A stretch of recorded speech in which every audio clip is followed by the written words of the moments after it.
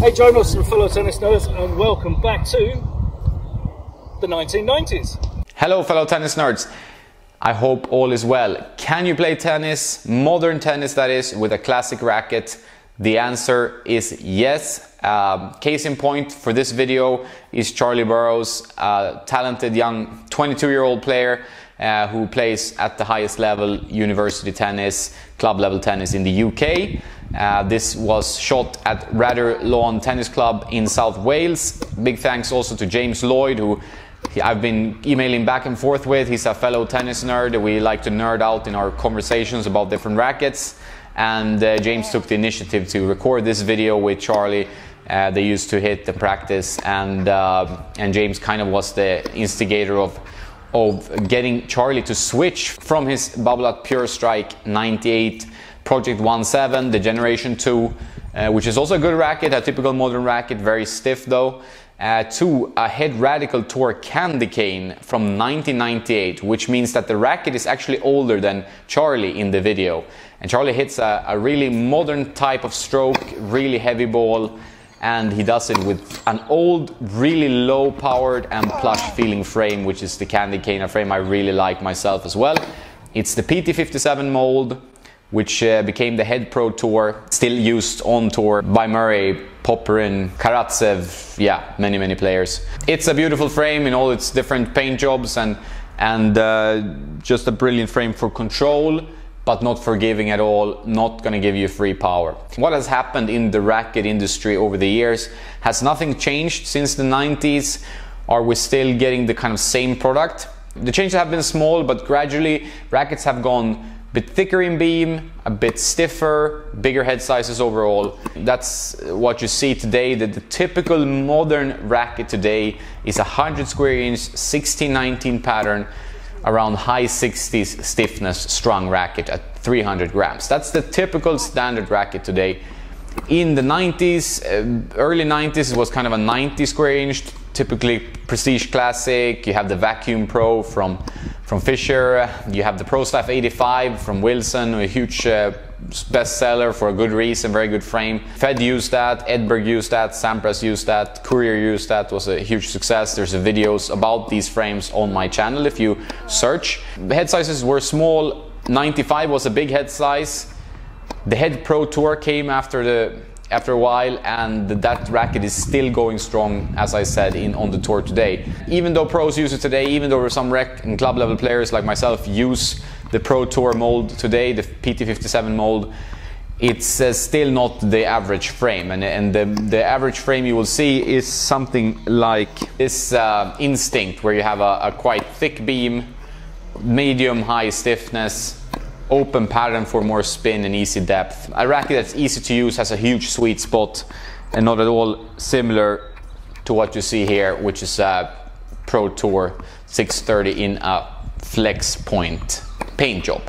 It has changed, but there were wide body frames also in the 90s. I've used one myself from time to time. It's a Babolat soft drive. Uh, I really like this frame as you might know and uh, it's very open pattern, quite thick beam but a bit lower stiffness and a bit of a better feel in my opinion thanks to the fiberglass. These are all personal things. Some players like a crisper, stiffer feel.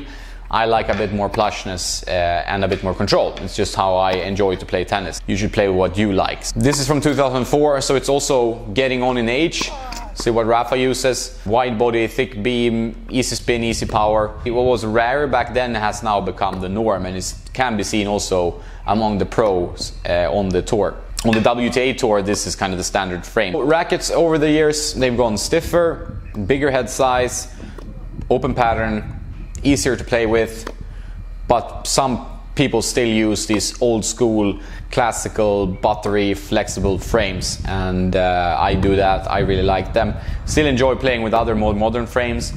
Some rackets like the Prestige they've kept the stiffness pretty low but they've increased the, the sweet spot a bit with the bigger head size. Now it's 98 square inches so it's a very small change there hasn't been really any drastic innovation what's mainly been happening is that they've been trying different dampening technologies to see if they can kind of reduce that stiffness um, that uh, together with stiff polyester strings have driven up the number of elbow and wrist and shoulder injuries we've seen among rec and pro level players over the years. These uh, polyester strings are quite stiff and should be used with caution. Uh, they're beautiful in the way that they give you control, you can string them really low, but you have to use them with caution and don't string them too high. And I'm saying too high, I'm meaning like don't try, try not to go beyond 51, 52 pounds 23, 24 kilos, uh, I, I, would recommend staying below that if possible. And most people should string lower than 20 even to, to save themselves and their arm a little bit. Some companies have tried to innovate a bit more than others. I have praised the Wilson Clash over and over because it's like because it's a thick beam racket with an open pattern, decent power level, but still a very flexible feel. So they try to marry the old and the new into a new innovative frame. It works. It's definitely not perfect. There are some consistency issues from the string bed.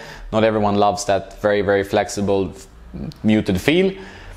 But it's, it's a very solid uh, effort to innovate. Same with the head gravity where they try to make a bigger head size but keep the thin beam, keep the low flex and to make a bit more forgiving racket. That's also kind of a throwback but a step into the modern world. It's all about what the the racket feels like, what the feedback it gives us, and how we perform with it, and how it feels when we swing it. So all these things come into play, and and technology uh, does hasn't really played a huge role into that yet, and that's why many players still use these old school kind of nostalgic frames uh, with the PT57s or uh, 6195s and so on. I'm not saying uh, newer rackets are worse. I would say that they have usually bigger sweet spots, easier power. They, they're generally easier to use. I have several friends that made switches from a 6.1 original, for example, the first Pro Staff 6.1 to an Aero and uh, would never look back because it's such a it's such an easier frame to play. He, he got much better depth. He had classically trained strokes, but just felt like everything was easier with the Aero. So there are examples of players who want to go back from modern to the old school and find ho home there. And there are players that drop the old frame, take a new one, more forgiving, more powerful, and would never look back to the old stuff because it's so much easier to generate power, spin, uh, and have a bit bigger sweet spot with the new racket. So the pros and cons with everything. That's what's been happening. Rackets are easier to use these days, but many racket nerds and tennis nerds do miss some of that beautiful feel that the old school rackets brought us. I hope you find this video interesting. Uh, please click like, share with your tennis friends and support the channel. Big thanks again to James and Charlie for, uh, for taking part and, and recording this video. I really appreciate it. That's all. Have a nice day and don't forget to play some tennis. Hey Jonas and fellow tennis nerds and welcome back to the 1990s. So, in 1993, Head contracted Andre Agassi, and they made what you will know as the Head Radical Tour Bumblebee Oversize. You'll see a nice little one here. And then they went from that on to the, the Zebra. I think the pro stock code for those was PT59, I might be mistaken. But around the same sort of time in 1993, you had players like David Wheaton that were using this little specimen, which is the Head Graphite Tour 600. And Head decided that after that and the Prestige Classic 600, they were going to make a slightly bigger uh, player's racket. And they went off that mould to create the PT57 with 1993, I believe David Wheaton swapped to the Head Radical Tour 630. This one weighs about 348 grams. And then about six months later, after that, I believe, came the one that everyone talks about, which is this little one here, the Head Pro Tour or PT630. Uh, this one's been adjusted a little bit, so it's 342 grams, uh, 340 swing weight, and uh, about five points headlight. But moving on from that, there we have it, my personal favourite, uh, the head PT57B, aka the Radical Tour Twin Tube. And then went from that, the final version uh, was this, which you may know as the Candy Cane.